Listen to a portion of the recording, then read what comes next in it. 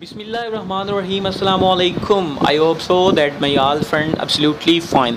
Today I am going to word discuss about voltage multiplier तो आज हम सीखने वाले हैं वोल्टेज मल्टीप्लायर क्या होता है। बेसिकली वोल्टेज मल्टीप्लायर एक सर्किट होता है। एक ऐसा सर्किट होता है जिसमें हम एसी इनपुट वैल्यू जो होती है, वो पीक वैल्यू यूटिलाइज करते हैं। यानी जो एसी इनपुट हम इस्तेमाल करते हैं, उसकी पीक वैल्यू को यूटिलाइज करते हैं और जो हमें आउटपुट में मिलता है, वो डीसी वोल्टेज मिलता है, वो डिफरेंट फॉर्म में मिल सकता है मल्टीपल फॉर्म में मिल सकता है। ये मेरी बात करने का मकसद क्या है? चलिए इस बात को हम एक एग्ज़ाम्पल से समझने की कोशिश करते हैं। देखिए, आपके सामने एक एग्जांपल लिखी हुई है ये। अगर हमारे पास एसी इनपुट की वैल्यू पीक जो वैल्यू है, वो वही एम है। यानी जो एसी इनपुट हम इस्तेमाल कर रहे हैं, उसकी जो पीक वैल्यू है, वो हमारे पास वी एम है। अब देखें, ये जो हमें आउटपुट में मिलने वाला है डीसी वोल्टेज हमें आउटपुट में जो मिलने वाला है, ये इस इस तरह की फॉर्म में हो सकता है। टू वी एम फॉर्म में हो सकता है थ्री वी एम फॉर्म में हो सकता है फोर वी एम फॉर्म में हो सकता है ई तो अगर तो हमें डी सी वोल्टेज यानी जो हमें आउटपुट मिलती है, वो टू वी एम फॉर्म में मिलती है तो उस तरह के हम सर्किट को वोल्टेज डबलर सर्किट का नाम देते हैं। अगर हमें आउटपुट थ्री वी एम की फॉर्म में मिलती है तो इस तरह को हम, इस तरह के जो सर्किट है, उसको हम कहते हैं वोल्टेज ट्रिपलर सर्किट कहलाता है। लेकिन अगर हमें आउटपुट फोर वी एम की फॉर्म में मिलती है तो उस तरह के सर्किट को हम वोल्टेज क्वाड्रापोलर का नाम देते हैं। तो जो आज हम डिस्कस करने वाले हैं, वो सिर्फ़ और सिर्फ़ वोल्टेज डबलर सर्किट के बारे में हम डिस्कस करने वाले हैं। तो वोल्टेज जो डबलर सर्किट होता है, इस तरह की, इसकी दो दो तरह की टाइप्स होती हैं, एक हाफ़ वेव होती है और एक फुल वेव होती है। देखिए, सबसे पहले हम बात करते हैं कि half wave voltage doubler circuit क्या होता है। ये आपके सामने एक सर्किट लिखा हुआ है जनाब। ये एक सर्किट है, इस सर्किट में हमने दो डायोड इस्तेमाल करने और दो कैपेसिटर इस्तेमाल करने हैं। देखिए, ये डायोड नंबर वन है, ये डायोड नंबर टू है। इसमें दो कैपेसिटर हैं, एक कैपेसिटर नंबर वन है और ये कैपेसिटर नंबर टू है। बेसिकली होता क्या है कि यहाँ पे हम इनपुट देते हैं और यहाँ पे हमें आउटपुट मिलती है। तो अगर तो हमें आउटपुट इस पीक वैल्यू की डबल मिलती है आउटपुट तो ये जो सर्किट कहलाएगा, ये डबलर सर्किट कहलाएगा। अगर यहाँ पे हमें पीक वैल्यू देते हैं, लेकिन उसकी डबल नहीं मिलती तो फिर इस सर्किट को हम डबलर सर्किट का नाम नहीं देंगे।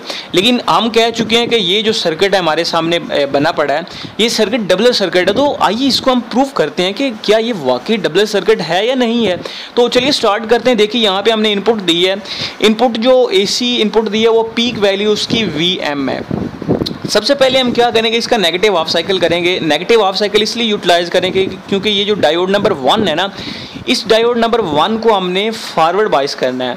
और अगर इसको फॉरवर्ड बाइस करना है तो उसके लिए नेगेटिव ऑफ़ साइकिल हम यहाँ पे लगाएँगे तो यहाँ पे पॉजिटिव आ जाएगा और यहाँ पे नेगेटिव आ जाएगा। अब होगा क्या कि ये जो डायोड नंबर वन है, इसकी बाइसिंग फॉरवर्ड होगी और जैसे इसकी बाइसिंग फॉरवर्ड हुई है तो ज़ाहिर सी बात अंडरस्टूड बात है, यहाँ से करंट फ्लो होगा, इस साइड से करंट इस साइड पे फ्लो होगा तो यहाँ पे आगे एक कैपेसिटर पड़ा होगा, ये जो कैपेसिटर ये चार्ज होना स्टार्ट कर देगा, यानी इसकी जो चार्जिंग है वो स्टार्ट हो जाएगी। तो ये जो कैपेसिटर है, ये तो फिर, ये जो सॉरी हमारे पास डायोड है, ये रिवर्स हो जाएगा, यहाँ पे कुछ भी नहीं होगा। तो ये जो कैपेसिटर इसमें चार्ज होने स्टोर हो जाए स्टार्ट हो जाएँगे तो जैसी चार्जिंग स्टार्ट हो जाएगी तो यहाँ पे हम वी एम दे रहे हैं तो ज़ाहिर सी बात है, ये जो कैपेसिटर है, ये वी एम तक ही अपने अंदर चार्ज को स्टोर कर सकता है। इससे ज़्यादा ये चार्ज अपने अंदर स्टोर नहीं कर सकता। इतनी पीक वैल्यू यहाँ पे, इतनी पीक वैल्यू ये अपने अंदर चार्ज स्टोर कर सकता है। अब होगा क्या कि यहाँ पे हम इसकी जो पोलैरिटी है, वो चेंज कर देंगे। पॉजिटिव हाफ़ साइकिल जो है, वो इस्तेमाल करेंगे। पॉजिटिव हाफ़ साइकिल क्यों इस्तेमाल करेंगे? इसलिए इस्तेमाल करेंगे कि क्योंकि ये जो हमारे पास डायोड नंबर वन है, इसको हमने रिवर्स बाइज करना और ये जो डायोड नंबर टू है, इसको हमने फॉरवर्ड बाइस करना है। और अगर हमने इसको फॉरवर्ड बाइस करना है तो यहाँ पे हमें पोलैरिटी चेंज करनी पड़ेगी। तो ज़ाहिर सी बात है, यहाँ पे फिर पॉजिटिव आ जाएगा और यहाँ पे नेगेटिव आ जाएगा। तो जैसे ही नेगेटिव आएगा तो यहाँ पे ये जो डायोड नंबर वन है, इसकी तो बाइसिंग रिवर्स होगी, यहाँ पे कुछ भी नहीं होगा। लेकिन ये जो डायोड नंबर टू है, इसकी बाइसिंग फॉरवर्ड होगी। और जैसे ही इसकी बाइसिंग फॉरवर्ड हुई है तो यहाँ से करंट फ्लो होना स्टार्ट हो जाएगा। तो यहाँ पे जो करंट है, वो स्टार्ट हो जाएगा। चूँकि यहाँ पे हमें एक वी एम ये और एक वी एम ये, दो वी एम यहाँ पर हमें मिलता है। तो आगे सर्किट शॉर्ट हो गया तो यहाँ पे ये जो चार्ज है कैपेसिटर मैक्सिमम कितना अपने अंदर स्टोर कर सकता है, ये हम फाइंड आउट करेंगे। यानी ये जो वी सी है ना, यहाँ पे हम वो फाइंड आउट करेंगे कि ये जो कैपेसिटर नंबर टू है, ये अपने अंदर मैक्सिमम चार्ज कितने स्टोर कर सकता है। तो आगे हमने एक रजिस्टर लगा हुआ है तो यहाँ पे हम लोड लगा देंगे तो यहाँ पे हमें आउटपुट मिल जाएगी। तो अब सबसे पहले हम तो ये सीखते हैं कि ये जो कैपेसिटर नंबर टू है, ये अपने अंदर मैक्सिमम चार्ज कितना स्टोर कर सकता है। तो इसके लिए हम के अप्लाई करते हैं, यानी Kirchhoff voltage law apply करते हैं। तो इस सारे लूप पे हम जैसे किर्च ऑफ़ वोल्टेज अप्लाई करते हैं तो देखिए यहाँ पे हम यहाँ से स्टार्ट करते हैं। तो ये जो negative positive negative V M आ गए यहाँ पे। और यहाँ से चलते हुए आगे हम यहाँ पे गए तो यहाँ पे फिर आगे वी एम पड़ा हुआ था पॉजिटिव नेगेटिव फिर नेगेटिव हमें वी एम यहाँ पर मिल गया। और जैसे ही हम यहाँ पे आए तो यहाँ पे हमें पॉजिटिव वी एम आगे मिला। यहाँ पे पॉजिटिव होता है और यहाँ पे नेगेटिव होता है और यहाँ पे हमें जो आगे पड़ा हुआ था वो पॉजिटिव वी सी मिल गया। तो ये आ गया। तो इज़ इक्वल टू ज़ीरो क्योंकि यहाँ पे सर्किट शॉर्ट हो गया, आगे हमें कुछ भी नहीं मिलेगा तो ये ज़ीरो के बराबर आ गया। हमने वी सी फाइंड आउट करना है कि ये जो कैपेसिटर नंबर टू है ना, ये मैक्सिमम अपने अंदर कितना चार्ज स्टोर कर सकता है। तो देखिए, यहाँ पे वी सी है और ये दोनों नेगेटिव हो रहे हैं इस साइड पे आएँगे तो पॉजिटिव हो जाएँगे तो एक वी एम ये और एक वी एम ये तो दो वी एम सम आउट होंगे तो यहाँ पे हमें टू वी एम मिल जाएगा।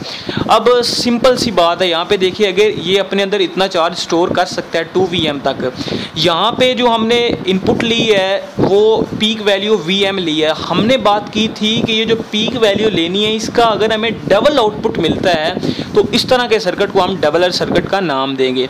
तो देखिए, ये जो कैपेसिटर है, ये टू वी अपने अंदर चार्ज स्टोर कर रहा है। तो जैसे ही यहाँ पे हम लोड लगाएँगे तो लोड लगाने के बाद जो हमें आउटपुट मिलेगी, वो टू वी ही मिलेगी। यहाँ पे जो हमें आउटपुट मिलेगी वो टू वी एम मिलेगी। क्यों मिलेगी? क्योंकि ये जो कैपेसिटर है इसने अंदर अपने चार्ज जो स्टोर किया है वो टू वी एम तक स्टोर किया हुआ है। लोड लगाएँगे यहाँ से हमें आउटपुट मिल जाएगी। तो ये साबित हो गया कि ये जो सर्किट बनाया हमने ये voltage dub, voltage doubler circuit है। तो देखिए यहाँ पे हमने जो पीक वैल्यू दी थी एसी की वो वी एम थी लेकिन उसका यहाँ पे जो हमें डबल मिल रहा है आउटपुट में तो ये साबित कर रहा है कि ये डबलर सर्किट है। तो ये हमारे पास हो गया डबलर सर्किट की जो हाफ़ वेव थी उसको हमने डिस्कस कर लिया। अब हम बात करते हैं फुल वेव को।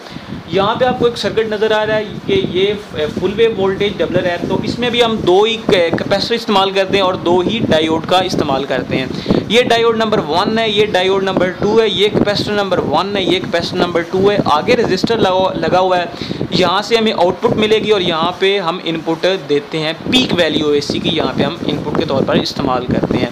तो देखिए होगा क्या कि यहाँ पे भी बिल्कुल वैसे ही है कि ये डबलर सर्किट कैसे हम इसको प्रूव कर सकते हैं कि क्या ये वाकई डबलर सर्किट है? जी हाँ बिल्कुल ये वाकई ही डबलर सर्किट है। कैसे? यहाँ पे हम पीक वैल्यू वी एम दे रहे हैं और अगर तो यहाँ पे हमें उसका डबल मिल जाता है, यानी यहाँ पे वी एम दे रहे हैं और यहाँ पे हमें टू वी मिल जाता है। तो फिर हम मान जाएँगे कि ये वाकई डबलर सर्किट है। तो देखिए, सबसे पहले हम डायोड नंबर वन है, इसकी बाइसिंग हम फॉरवर्ड करना चाहते हैं। और जैसे ही हम इसकी बाइसिंग फॉरवर्ड करेंगे तो यहाँ पे पॉजिटिव आएगा और यहाँ पे नेगेटिव आएगा। और जैसे ही यहाँ पे पॉजिटिव और यहाँ पे नेगेटिव आएगा तो ये जो डायोड नंबर वन है, इसकी बाइसिंग फॉरवर्ड हो जाएगी। और फ़ौरन से ही फॉरवर्ड होगी तो यहाँ से करंट जो है वो फ्लो हो जाएगा। और ये जो डायोड नंबर टू है, इस इस सिलसिले में इसकी जो बाइसिंग है, वो रिवर्स हो जाएगी। यहाँ पे कुछ भी नहीं मिलेगा। तो यहाँ पे हम वी एम जो इनपुट दे रहे हैं पीक वैल्यू दे रहे हैं तो यहाँ पे भी वी एम ही आएगा। क्योंकि ये जितनी वैल्यू यहाँ पे हम पीक दे रहे हैं, इतना कैपेसिटर नंबर वन जो है वो वहाँ पे वो अपने अंदर चार्ज स्टोर कर सकता है। अब जो डायोड नंबर टू है, इस डायोड नंबर टू को हम फॉरवर्ड बाइस करना चाहते हैं और जैसे ही हम इसको फॉरवर्ड बाइस करेंगे तो ये जो डायोड नंबर वन है, ये तो रिवर्स हो जाएगा और रिवर्स होगा तो इस पर भी हमें कुछ ना कुछ चार्ज मिल जाएगा। देखिए, यहाँ पे हम पोलैरिटी चेंज करते हैं, यहाँ पे हम नेगेटिव लगाते हैं और फिर यहाँ पे हम पॉजिटिव लगाते हैं। और ये जो डायोड नंबर टू है, इसकी जो बाइसिंग है, वो फॉरवर्ड होगी यानी पॉजिटिव पॉजिटिव से कनेक्ट है और नेगेटिव नेगेटिव से कनेक्ट है। तो ये जो डायोड नंबर वन है, इसकी बाइसिंग रिवर्स होगी तो यहाँ पे कुछ भी नहीं होगा और यहाँ पे जो करंट है, वो फ्लो हो जाएगा स्टार्ट हो जाएगा, यानी इस साइड पे आ जाएगा। अब यहाँ पे देखें, जो एसी की पीक वैल्यू वो हमने वी एम दी है। तो यहाँ पे भी वी एम ही आएगा और यहाँ पे हमें वी एम ही मिलेगा। तो देखिए, अब हमें आउटपुट में चाहिए। आउटपुट में हमारे पास आगे रजिस्टर लगा हुआ है। यहाँ पे हम लोड लगा के आउटपुट यहाँ से ले सकते हैं। तो यहाँ पे पॉजिटिव चार्ज होता है, यहाँ पे नेगेटिव यहाँ पे फिर पॉजिटिव यहाँ पे नेगेटिव होता है। तो एक वी एम ये और एक वी एम ये, यानी ये सम हो जाएँगे और सम होने के बाद हम आगे यहाँ पे लोड लगाएँगे और लोड से हमें आउटपुट मिल जाएगी। यानी ये दो हैं कैपेसिटर इसमें वी एम चार्ज स्टोर हो रहा है और इसमें भी वी एम चार्ज स्टोर हो रहा है। तो इन दोनों की जो सम होगी, उसमें हमें यहाँ पे आउटपुट मिल जाएगी। अब देखें, यहाँ पे वी एम है और यहाँ पे पॉजिटिव वी एम है तो हमें यहाँ पे टू वी एम मिल जाएगा। इन दोनों की सम से हमें यहाँ पे टू वी एम मिल जाएगा। तो अब ये भी साबित हो गया प्रूव हो गया कि यहाँ पे जो पीक वैल्यू ए सी की थी, वो वी एम थी। तो हमने स्टार्ट में ये कहा था कि अगर पीक वैल्यू का डबल आउटपुट मिलता है तो वो डबलर सर्किट कहलाता है, यानी डबलर वोल्टेज सर्किट कहलाता है। तो ये देखें, यहाँ पे पीक वैल्यू जो हमने एसी की दी वीएम और जो हमें आउटपुट में मिला, वो उसका डबल मिल गया, यानी टू वीएम मिल गया। तो ये था हमारे पास आज का वोल्टेज डबलर सर्किट। हमने उसमें half wave voltage doubler circuit को डिस्कस किया, फिर हमने full wave voltage doubler circuit को डिस्कस किया। हमने प्रूव भी किया कि क्या ये वाकई डबलर सर्किट है या नहीं है। तो ये आज का हमारा लेक्चर है। I hope